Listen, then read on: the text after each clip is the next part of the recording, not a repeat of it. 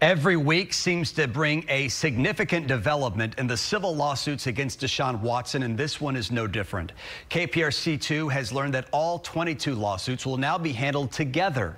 Our Courtney Zabowski has been following each development closely. So, Courtney, now it's one judge for all 22 cases.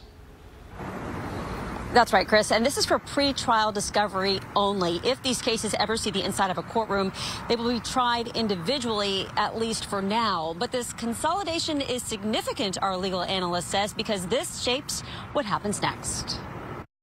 It began with one and exploded into 22. 22 anonymous women accusing Houston Texans quarterback Deshaun Watson of sexual misconduct during massages. With the consolidation of all of the cases against Watson into one courtroom, Harris County Judge Rabeea Collier is in charge of all of them.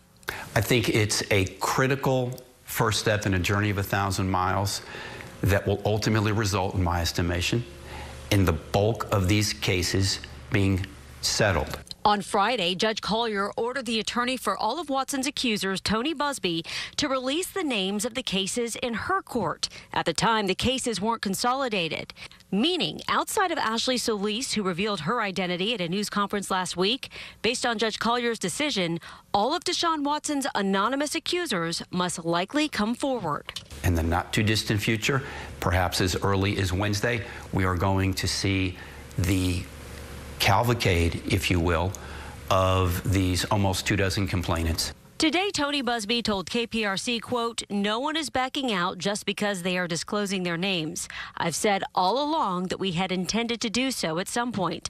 Ultimately, when the cases are tried, it will be in open court. No one is hiding. And Tony Buzbee told me that he will amend the petitions, not refile them. He has until Friday to do that to release the names. We're live at NRG Park. Courtney Zabowski, KPRC 2 News.